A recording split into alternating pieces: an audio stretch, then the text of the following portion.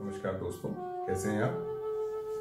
हम नवग्रह सीरीज़ में आज बात करेंगे बुध की।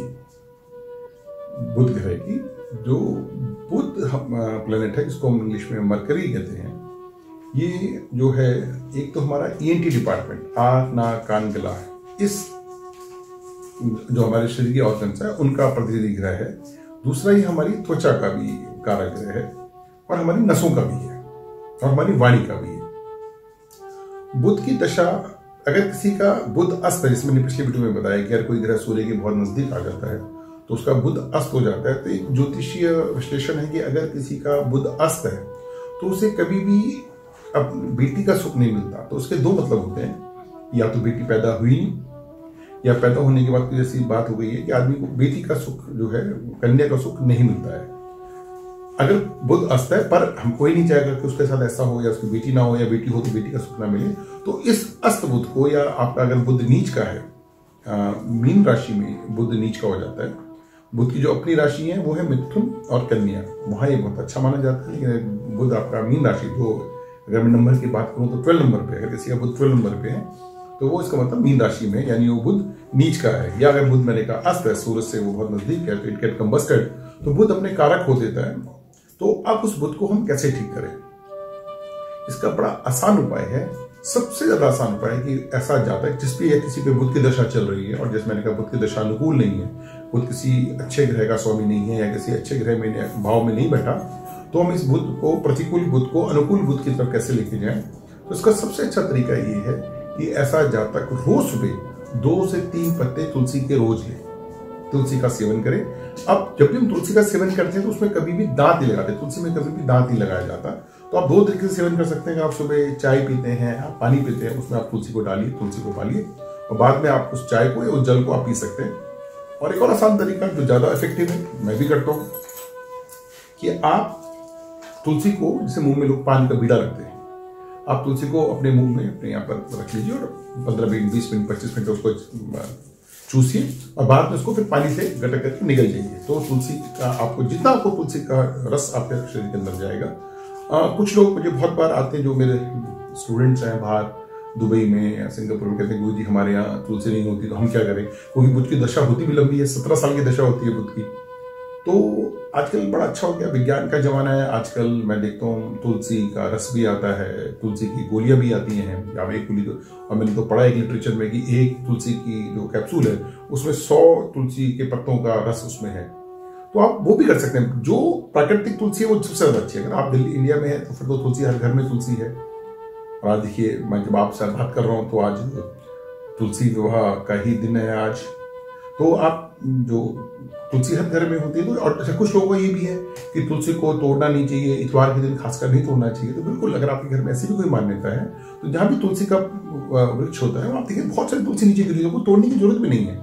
आप सुबह तुलसी के पौधे के पास जाएँ, हाथ जोड़ें, उस पौधे को जल दें, और जो पत्ते नीचे गिरे हुए हैं, उन पत्तों का आप सेवन करें तो ये बहुत रामबाण औषधि है खासकर उन बच्चों को जो अपनी अपनी एज में है, अगर किसी के चेहरे में पिंपल्स आ रहे हैं, चेहरे में किसी तरह का कोई स्कार आ रहा है तो आप तुलसी का सेवन करिए। तुलसी के अंदर इतनी क्वालिटी है, तुलसी हर तरह की नेगेटिव एनर्जी को दूर कर देती है।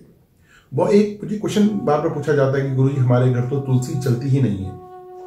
तो मुझे आपको बताना पड़ेगा अगर आपके घर में तुलसी नहीं चलती, इसका मतलब आपके घर में बहुत ज़्यादा नेगेटिव एनर्जी है। तुलसी करती क्या तुलसी हर तरह की नकारात्मक को अपने ऊपर लेती है।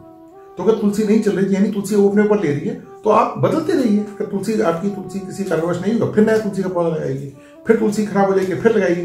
पर एक दिन ऐसा ज़रूर आएगा, जिस दिन आपकी तुलसी हरी हो जाएगी। धीरे, जैसे आप देखते हैं किसी को चोट लगती है तो हम एक बार पट्टी करते हैं, पट्टी खराब हो जाती है, फिर करते हैं। पहले देखा होगा चोट लगती है, हम हर छह घंटे में पट्टी करते हैं। फिर डॉक्टर कहता है एक दिन के बाद, फिर डॉक्टर कहता है दो दो दिन बाद, और एक दिन ऐसा हमको ड्रेसिंग करने की ज़रूरत नहीं पड़ती।